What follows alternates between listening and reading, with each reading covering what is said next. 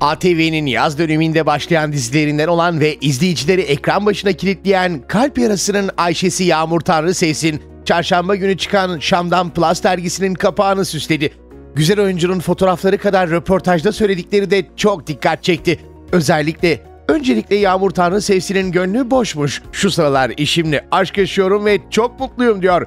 Ama aşka saygı duyduğunu ve çok değer verdiğini de ekliyor. Samimiyet ortadan kalkınca ilişkiler dinamizmini kaybediyor. Her iki tarafın ortak yaptığı şeylerden mutlu olması için iletişimde samimi olmaları gerekiyor. Bu olunca bol sürprizli, eğlenceli ama bir o kadar da kapsayıcı bir ilişkiniz olabiliyor diyor Yağmur Tanrı Sevsin. Umarız güzel oyuncunun kalp yarası sadece dizilerde olur. İşte Yağmur Tanrı Sevsin'in Instagram paylaşımları.